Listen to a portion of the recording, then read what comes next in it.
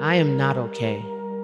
What's happening now in America, in Virginia, it's not okay.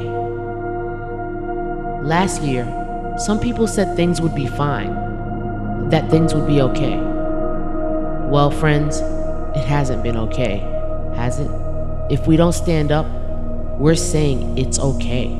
Thursday night, the president backing Virginia's Republican candidate for governor, Ed Gillespie. I'm standing up. By voting on November 7th, I'm sending a message. We will send a message, and we will be heard. Together, we will say, This isn't okay.